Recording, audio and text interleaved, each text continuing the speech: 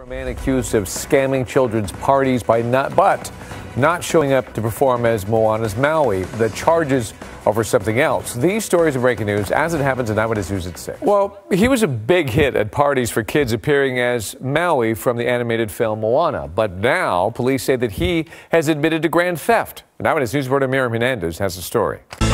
What can I say except you're welcome? Maui, a Disney character, and the inspiration for 25 year old Kyle Paula to step into a grass skirt and book gigs at children's parties.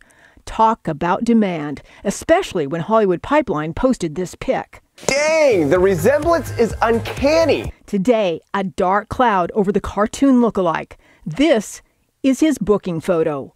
Montebello PD arresting him for the theft of $7,000 in jewelry. Suspect was arrested for uh, grand theft, um, and uh, he was turn- he turned himself in, and he's cooperating with investigators.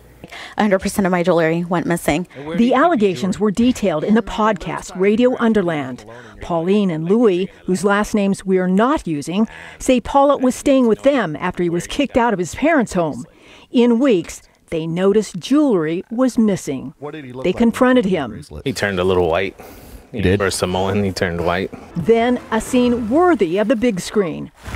Did not see that coming. Paula takes them to a pawn shop and tells the clerk, show them his account. He's like, yeah, yeah, let them see, please.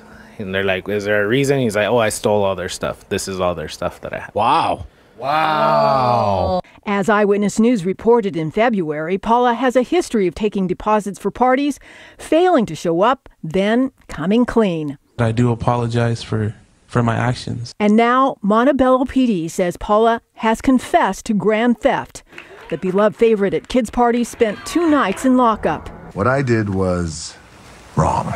In court, though, Paula entered a plea of not guilty.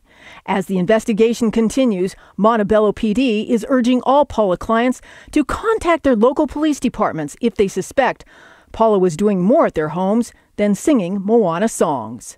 Miriam Hernandez, ABC 7 Eyewitness News.